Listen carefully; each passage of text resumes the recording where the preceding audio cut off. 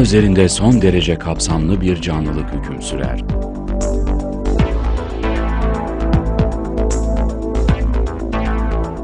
Milyonlarca hayvan, bitki ve böcek bu mavi gezegen üzerinde büyük bir uyum içinde yaşar. Dünyada bu kadar kapsamlı bir canlılığın var olabilmesi, çok sayıda hassas dengenin bir arada bulunmasıyla mümkün olur.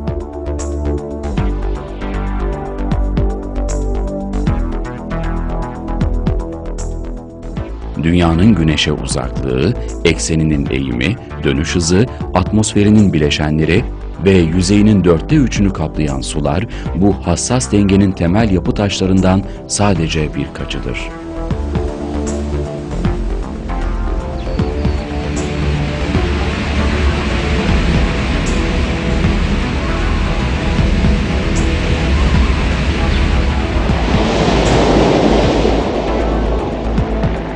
Yeryüzünün büyük bir bölümünü kaplayan denizlerse, dünyadaki dengenin vazgeçilmez bir parçasıdır.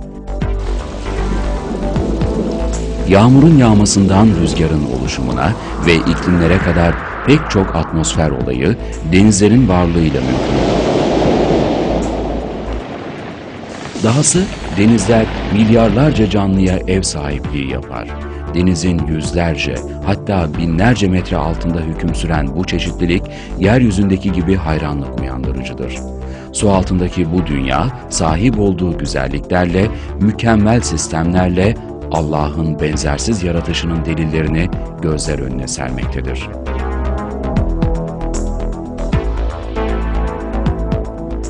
Sualtı canlılarının yaşadıkları ortama uyumlu yapıları ve sergiledikleri davranışlar Allah'ın ihtişamlı sanatını bize göstermektedir.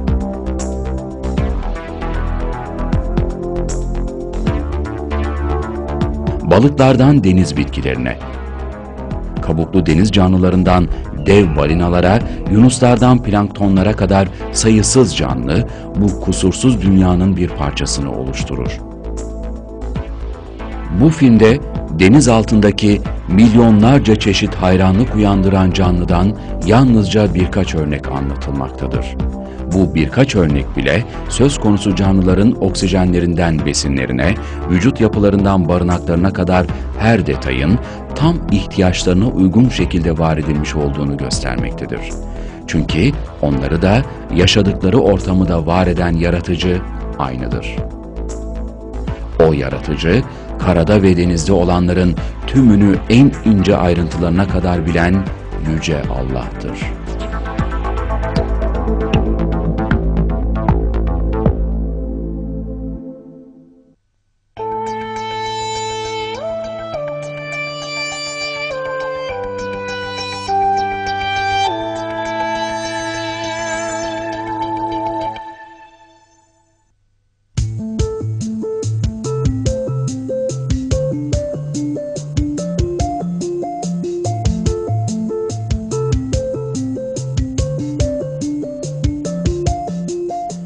Deniz canlılarının yaşadıkları ortam, onlara beslenebilmeleri için çok geniş imkanlar sunar.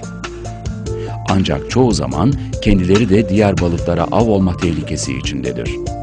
Bu nedenle savunma mekanizmaları denizde yaşayan canlılar için hayati önem taşır.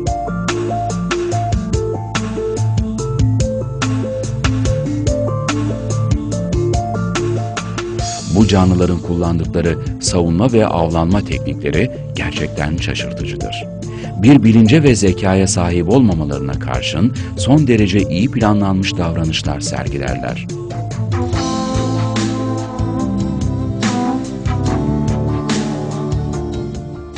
Kimi kendini başka bir canlıya benzeterek, kimi zehirli dikenler kullanarak kendini düşmanlarından korur. Kimi ise bulunduğu ortama renk ve desen olarak şaşılacak bir benzerlik göstererek avlanır. Kamuflaj, deniz canlılarının kendilerini savunmak için kullandıkları en ilgi çekici taktiklerden biridir. Kamuflaj sayesinde balıklar düşmanlarına karşı kendilerini adeta görünmez hale getirirler. Bu canlıların bedenleri yaşadıkları ortamla şaşırtıcı derecede uyumludur. Öyle ki ilk bakıldığında bir bitki mi, bir hayvan mı olduklarını anlamak çok zordur. Bu yöntemle korunan canlılardan biri akrep balığıdır. Mercanların arasında hareketsiz durup gizlenen bir akrep balığı çevresinden ayırt edilemez. Balık bu özelliği sayesinde büyük balıklara av olmaktan kurtulur. Aynı özellik fark edilmeden kolayca avlanmasını da sağlar.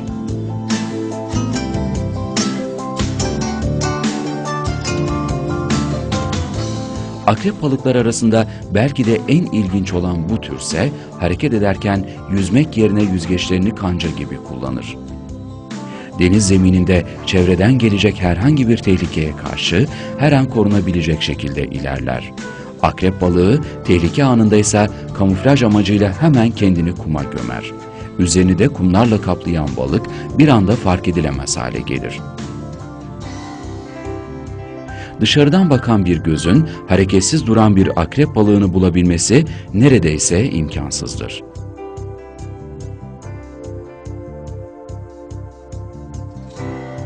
Deniz altında kamuflajla kendini gizleyen başka bir canlı da yengeçtir. Yengeç bir tehlike anında kumun içine girerek kendini tamamen gizler ve tehlike geçinceye kadar orada kalır.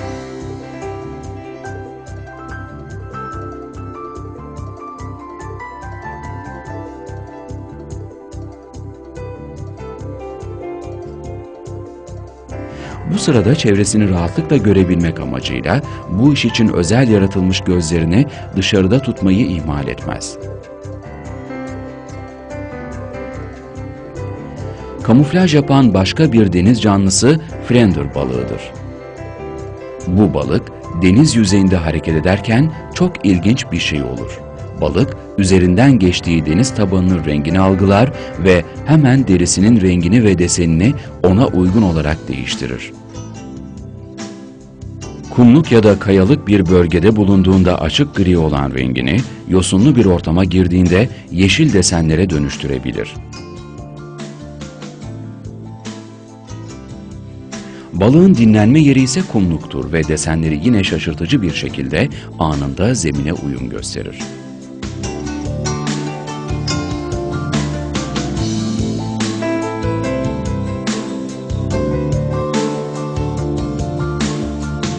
Buraya kadar anlattığımız balıkların renk ve dokuları kadar göz yapıları da kamuflaja imkan sağlayacak biçimde yaratılmıştır. Kuma gömüldüklerinde dışarıda kalan gözleri aynı bir denizaltının periskopu gibi etrafı güven içinde tarayabilir.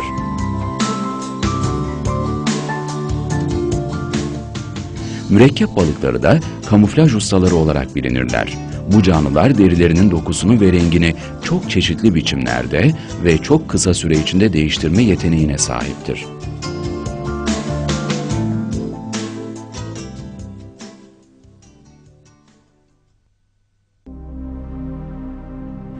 Bu canlılarda görülen isabetli renk değişimleri bilinçli bir savunma mekanizmasının açık göstergesidir. Oysa bir balık üzerinden geçtiği zemine saniyeler içinde uyum sağlayacak zekaya ve şuura sahip olamaz. Buna sahip olduğunu farz etsek bile bunu gerçekleştirebilmesi için gereken fizyolojik mekanizmaların neler olduğunu nasıl bilebilir? Bu mekanizmaları vücuduna nasıl yerleştirebilir ve nasıl çalışır hale getirebilir?''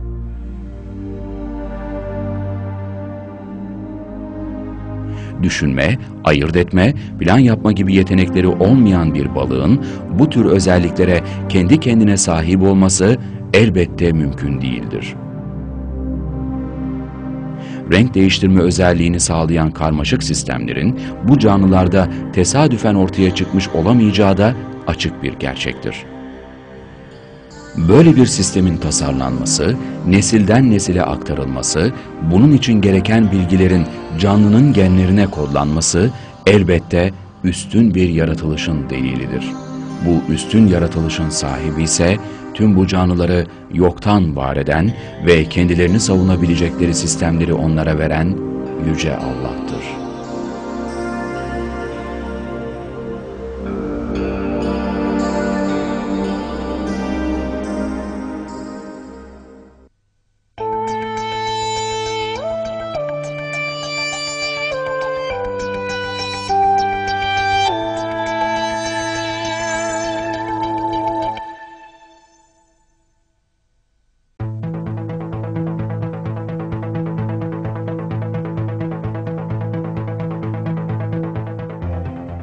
Bazı deniz canlıları kendilerini korumak için kamuflajdan farklı yöntemler kullanırlar. Örneğin bu canlı çok pratik bir gizlenme yöntemine sahiptir. Bulduğu bir mercan parçasının altına saklanarak deniz zemininde ilerler. Pafir adı verilen bu küçük balıksa iyi bir yüzücü değildir. Bu nedenle kendini avlamak isteyen düşmanlarından hızlı bir şekilde kaçamaz. Ancak olası saldırılara karşı mükemmel bir savunması vardır. Pafir bir tehlike anında kendini şişirir. Oldukça irileşen bu balığı yutamayan düşmanları da onu bırakmak zorunda kalır.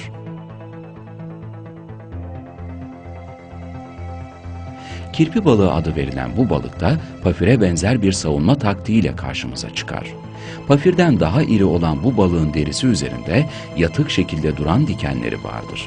Balık tehlike hissettiğinde kendini bir anda normal halinin birkaç katı kadar şişirir. Yatay duran dikenler şişme sırasında dikleşir ve balık adeta iğneli bir top halini alır. Balığın bu görüntüsü onu yemeye yeltenen avcı balıkların çoğunu bu fikirden caydırır.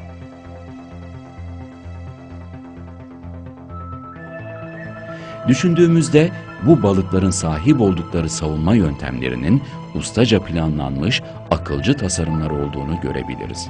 Bir papir ya da kirpi balığı hem düşmanlarını caydırmak amacıyla özel olarak tasarlanmış vücut yapılarına hem de bunları tam gerektiği anda kullanmalarını sağlayan reflekslere sahiptir. Oysa bir akla ve bilince sahip olmayan bu canlıların kendi vücutları üzerinde böyle bir tasarım gerçekleştirmeleri, buna uygun refleksler edinmeleri imkansızdır. Açıktır ki bu canlılar söz konusu özellikleriyle birlikte yaratılmışlardır. Tüm doğaya hakim olan Allah, her canlıya kendi ortamına uygun özellikler verdiği gibi bu balıklara da bu eşsiz savunma silahlarını vermiştir.''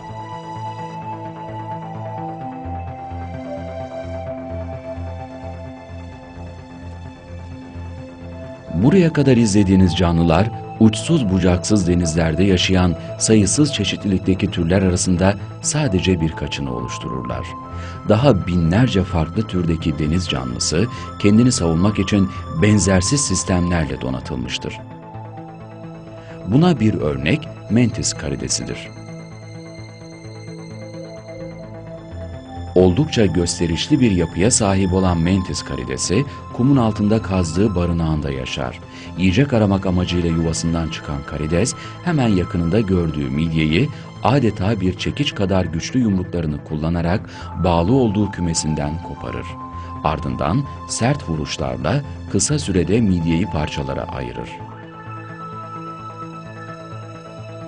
Ancak tam bu sırada kendine yaklaşan ahtapotu fark eder ahtapotun karşısına dikilerek adeta kendisiyle uğraşmaması için mesaj verir gibi durur.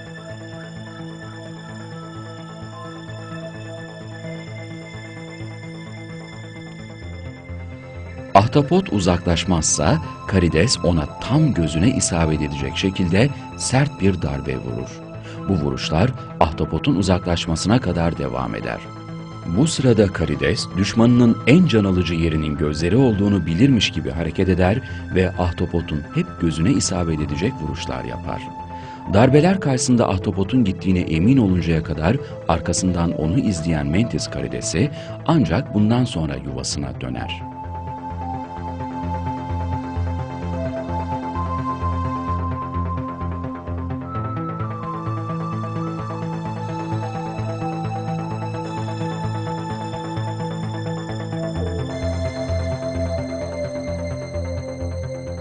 Denizaltı canlılarında gördüğümüz bir başka savunma örneği sahte gözlerdir. Bazı balıkların arka yüzgeçlerindeki büyük yuvarlak lekeler tam bir göz şekline sahiptir. Bu gözler onları daha büyük bir canlı gibi gösterir. Dahası saldırmak isteyen düşmanların baş yerine kuyruğa yönelmelerine sebep olur ve bu da balığa kaçmak için zaman kazandırır. Balığın gerçek gözleri ise kalın siyah bir şeritle kamufle edilmiş durumdadır. Elbette bu tasarım bir tesadüf ürünü değildir ve balığın savunması için özel olarak yaratılmıştır. bu canlının da kuyruğuyla kafasını ayırt etmek mümkün değildir. Arka tarafındaki sahte göz, balık için tasarlanmış mükemmel bir savunma yöntemidir. Ancak daha da şaşırtıcı olan, yaprakları arasında dolaştığı canlının da bir bitki değil, bir deniz atı olmasıdır.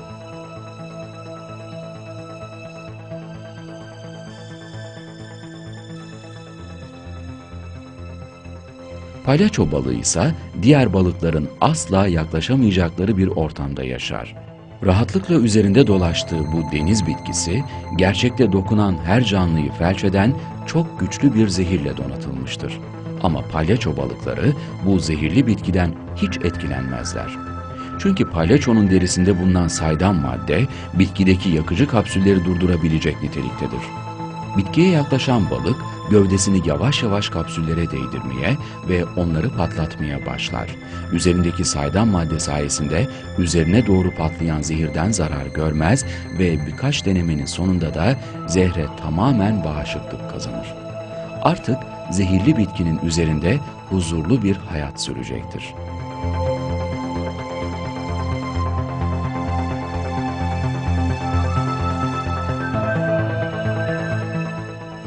Kamuflaj yapma, farklı şekillere bürünme ve daha onlarca çeşit savunma yönteminin zaman içinde kazanılan tecrübeler doğrultusunda ya da tesadüflerin sonucunda oluştuğunu ileri sürmek akıl ve mantıkla uyuşmaz.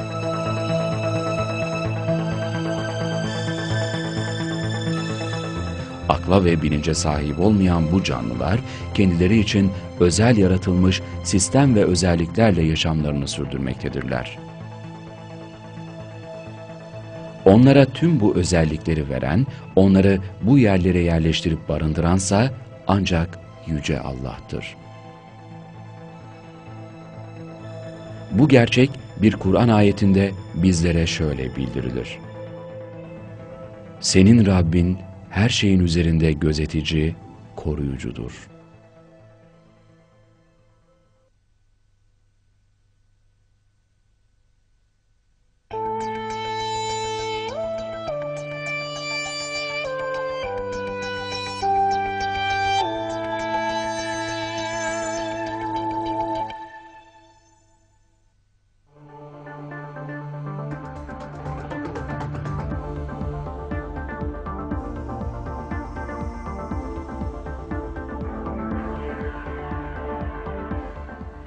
Yeryüzündeki pek çok canlı gibi deniz canlıları da yaşamlarını sürdürmek için birbirlerinin yardımına ihtiyaç duyar.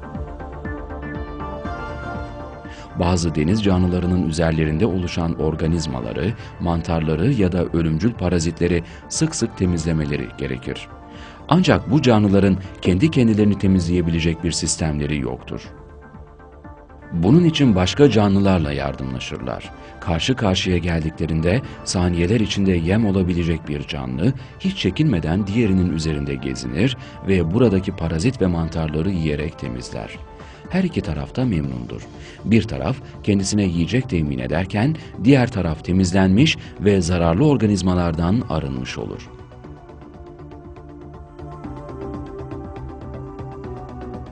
Temizlenmek isteyenler kimi zaman denizlerin en tehlikeli canlıları olan köpek balıkları ya da dev balinalar olabilmektedir.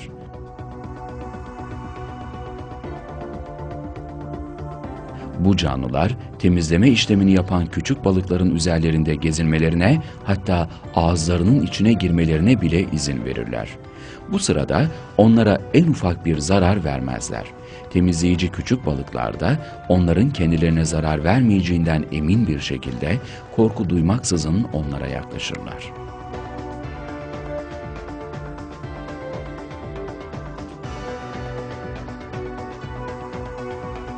Berber balığı adı verilen ufak balıklar, benekli balta balıklarının üzerlerindeki ölümcül parazitleri temizlerler. Berber balıkları temizleme işlemini yaparken balta balıkları onları ürkütecek en ufak bir harekette bile bulunmazlar. Sanki karşılıklı bir anlaşma yapılmışçasına berber balıklarının işlerini bitirmelerine izin verirler. Böylece balta balıkları başka hiçbir şekilde elde edemeyecekleri bu temizliği kendileri için sağlamış olurlar.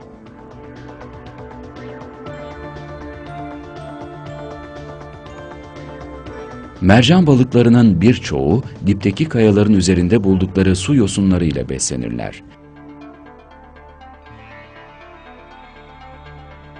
Ancak bu balıkların tek yiyecek kaynağı su yosunları değildir.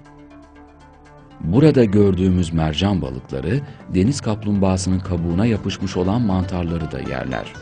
Yüzerek bu balıkların yanına gelen deniz kaplumbağası sanki sözleşmiş gibi onlara yakın bir yerde balıkların üzerine gelmesini bekler. Böylece kendi yapamayacağı temizliği mercan balıklarına yaptırmış olur.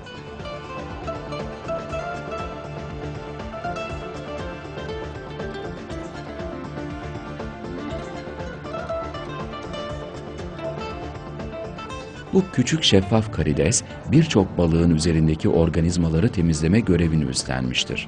Balık karidesin ağzında dolaşmasına izin verir. Hatta onun işini kolaylaştırmak amacıyla ağzını açar ve işlem bitene kadar bu şekilde açık olarak tutar. Karides, balığın hassas solungaçları arasında dahi dolaşabilir ve buradaki organizmaları da yiyerek temizler.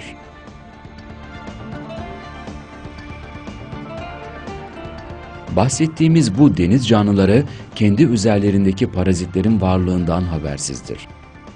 Üstelik haberdar olsalar bile üzerlerindeki parazitlerin mantarların ya da farklı organizmaların kendilerine zarar verebileceklerini akledebilecek bir şuura sahip değildirler. Sahip olduklarını farz etsek bile bunlardan kurtulmak için ne yapmaları gerektiğini nasıl bilebilirler?''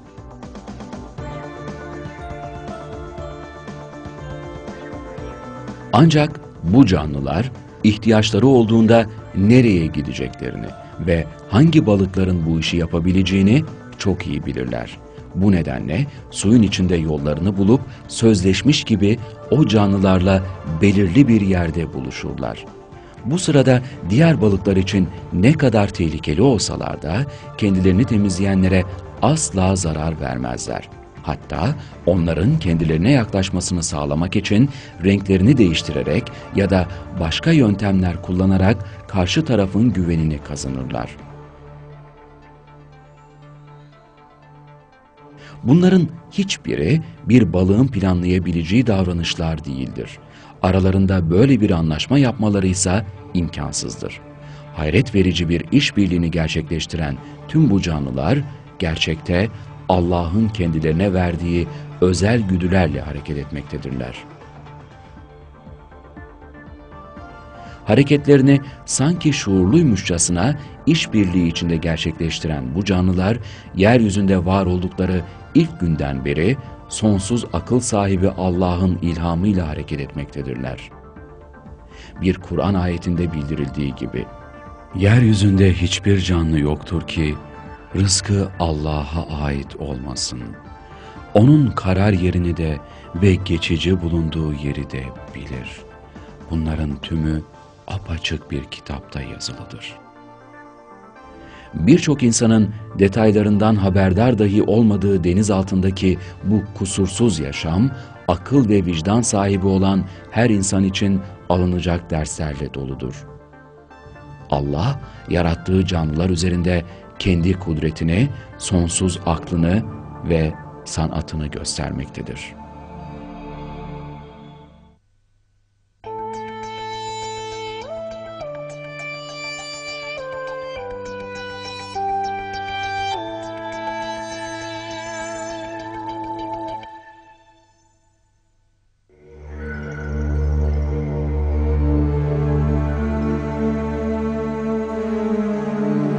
19. yüzyılda İngiliz doğa bilimci Charles Darwin tarafından ortaya atılan evrim teorisi yaratılışı reddeder. Teori, yeryüzündeki tüm canlılığın tesadüfler zinciri sonucunda birbirinden türeyerek oluştuğu iddiasındadır.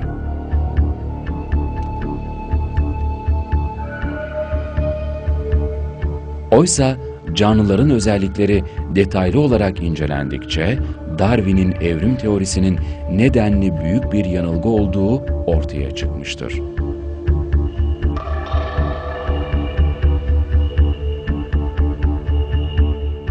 Bunun iki temel nedeni vardır.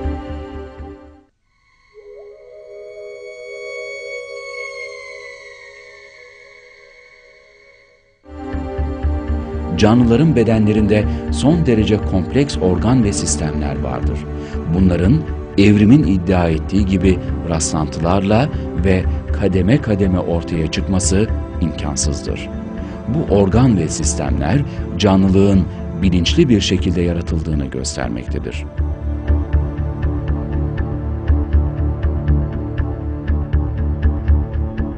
Bu film boyunca izlediğiniz çeşitli canlılarda bunun bir delilidir. Kumun altında gizlendiklerinde etraflarını gözleyebilecekleri özel bir göz tasarımına sahip olan yengeçler ve frender balıkları. Bulundukları ortamın rengine anında uyum sağlayabilen özel hücrelere sahip ahtapotlar kuyruk kısımlarındaki sahte gözlerle düşmanlarını şaşırtan balıklar ve diğerleri bu kusursuz tasarımın örnekleridir. Bu tasarımlar için tesadüf eseri gibi yüzeysel bir açıklama yapmak imkansızdır.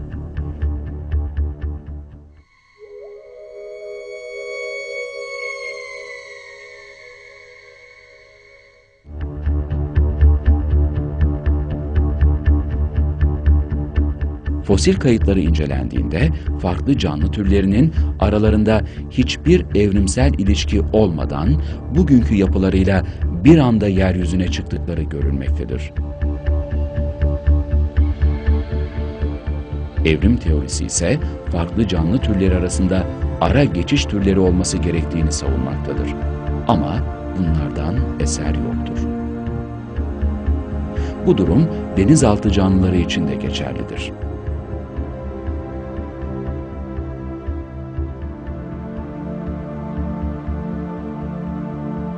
Fosil kayıtları bilinen en eski balık türlerinin yeryüzünde aniden ve özgün vücut yapılarıyla ortaya çıktıklarını göstermektedir.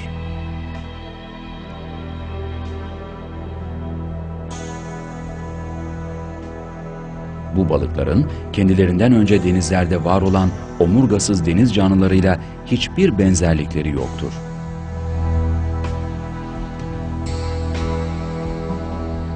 Evrim teorisine inanan bir fosil bilimci olan Gerald Todd, bu gerçek karşısında kemikli balıkların evrimi başlıklı bir makalesinde şu çaresiz soruları sıralar.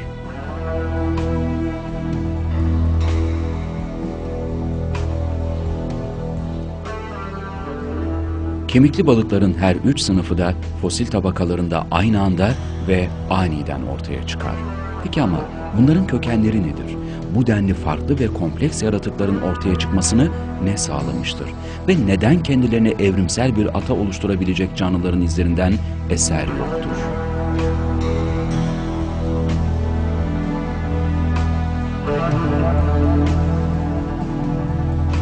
Balıkların hiçbir atası yoktur. Çünkü başka canlılardan evrimleşmemişlerdir.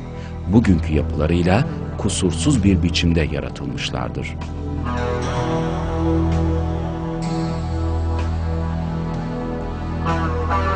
Evrimcileri çıkmaza sokan bir başka denizaltı canlı grubu elektrikli balıklardır.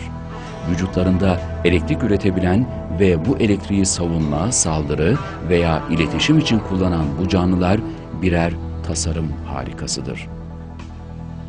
Bazı elektrikli balıklar vücutlarında 500 voltluk elektrik üretebilecek kadar güçlüdür.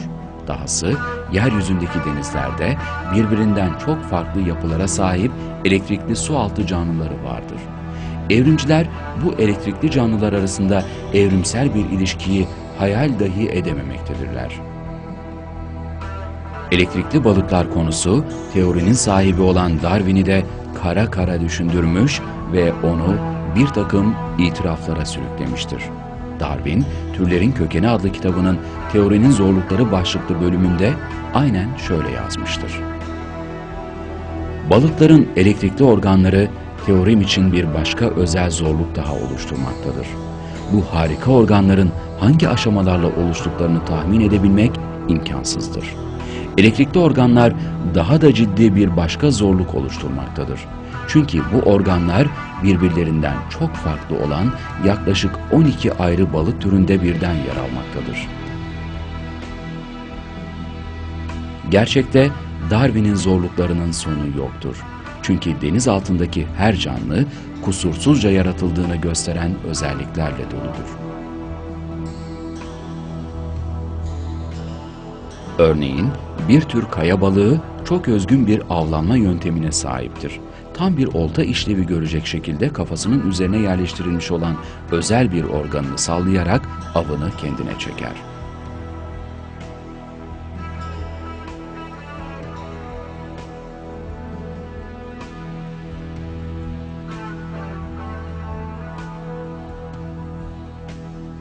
Bir okçu balığı ise o kadar kusursuz bir geometri ustasıdır ki suyun dışında gördüğü bir böceğin yerine ışığın suda kırılmasına rağmen tam olarak hesaplar ve ağzından püskürttüğü suyla onu avlar. Amazonlarda yaşayan bu balık türü yine kusursuz bir açı ve mesafe hesabıyla suyun içinden dışarıya bir metreden fazla zıplayarak avını tam olduğu yerde yakalamaktadır.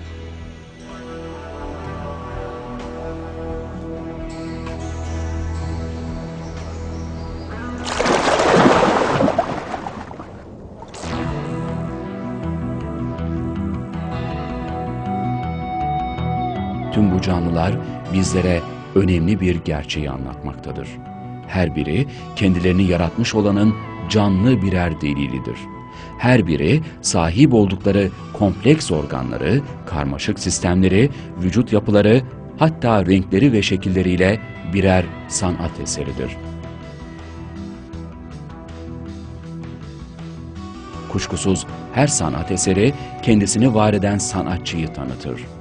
Deniz altındaki ihtişamlı yaratılışsa bizlere tüm denizlerin, karaların, göklerin ve tüm alemlerin Rabbi olan Yüce Allah'ı tanıtmaktadır.